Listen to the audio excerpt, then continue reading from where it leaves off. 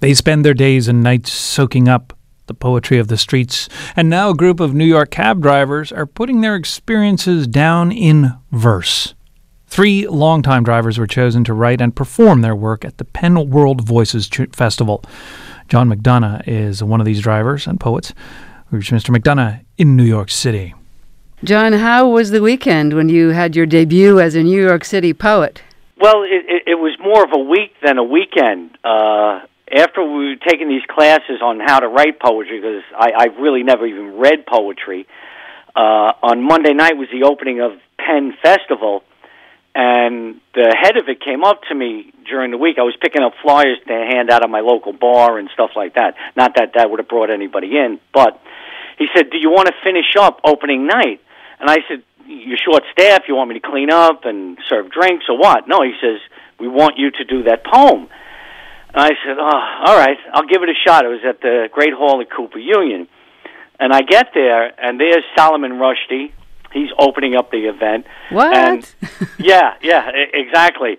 And it's all the greatest writers in the world are there, and they're being introduced one after the other. And this one's been translated into 13 languages. This one's been translated into 20 languages.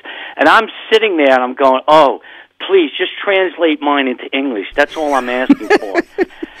so after they all finish, I get up, I do it. People seem to like it and then on Saturday night was the or Saturday afternoon was at Joe's Pub in uh, down in the East Village. And how did you do? How did it go? Well, you know what? It's very difficult unless people are lying to you. You know, they all seem to enjoy it and come up and said, uh, you know, they enjoy your observations of the city. But like I said, it took 35 years to write this one minute and 55 second poem. I don't recommend it to anyone to drive a yellow cab 12 hour shifts to come up with these observations. Do research, it's a lot easier. Uh, you know, but of course, what better place to find uh, find poetry than in a, a, yellow cab? So, what what kinds of things have you seen that you thought would be great experiences for poetry? Well, I, I just described, particularly, as I said, as a cab driver, you see the city changing you feel the city changing and you taste the city changing. And what I mean about feeling, people would get in and say, I'm going down to Avenue A, which we used to call the alphabet jungle. You knew they were going down there to cop dope. So you would go down there, it was a shooting gallery. The guy would say, Listen, can you wait here? I'm going to be five minutes and I'll be right back.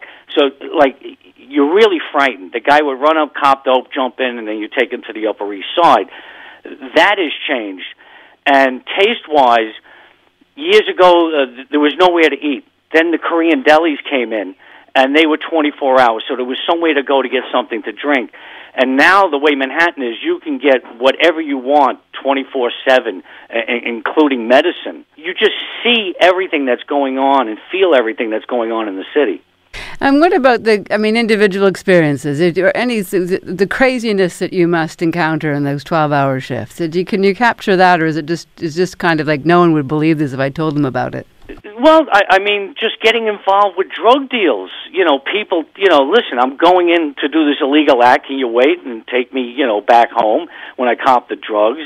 You know, one time I was robbed. The guy wouldn't pay me through the back of the cab. He wanted to get outside, and then he pulled out a nine millimeter, put it up to the window, and I just put ducked my head down and hit the gas and just went flying off.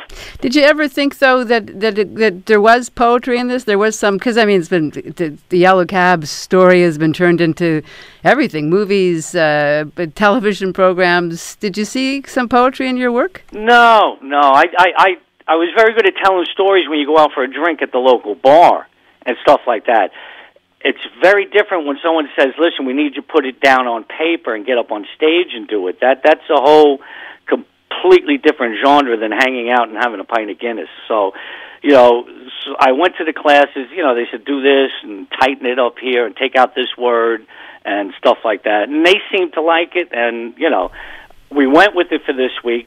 You know, where it's going to go after this, like it's to me, it's over. I, as I told them that night, I opened and closed tonight with my poetry. It's over.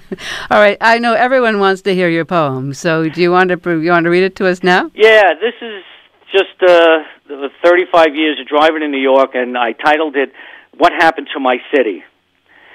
Familiar neighborhoods are strangers again. The alphabet jungle has become the Lower East Side. Crime Square has turned back into Times Square. Bushwick has ceased to exist, replaced by East Williamsburg. People asked to go to Sobro, no longer running from the South Bronx. What happened to my city? The Twin Towers used to be two. Now it's only one. New Yorkers used to yell at each other. Now we tweet. Pissing in the street has been replaced by picking up after your dog. Squeegee men and graffiti artists are now found in museums, and yuppies have turned into hipsters. What happened to my city? The ashtrays in the back of the cab have been replaced by TVs. Passengers high on weed and beer are now high on ecstasy and bottled water. No longer do you have change, but do you take credit? Taxis are getting smaller, but New York asses are getting bigger. What happened to my city? Junkies used to do the dope dance one step forward, two steps backwards. Now they balance on yoga mats and do Tai Chi. Watch out for the red light cameras. Don't go in the bus lane. Stay out of the bike lane. What happened to my city? John, that is great. 35 years to do it. Uh, I don't think there'll be another one coming out very shortly anyway. So, oh, well, these are great observations made into poetry. But I have to say that you, no matter how good you get at poetry, you're still going to make more money driving a cab. Oh yeah, yeah. Well, I I just finished 12 hours today. I, you know, I'm not going to stop and start doing poetry for senior citizens in libraries around the city. I mean, come on, that, that's just not going to happen. John, it's great to talk to you. Thanks. All right, thank you. Bye bye. John McDonagh, taxi driver, New York City, and that's where we reached him.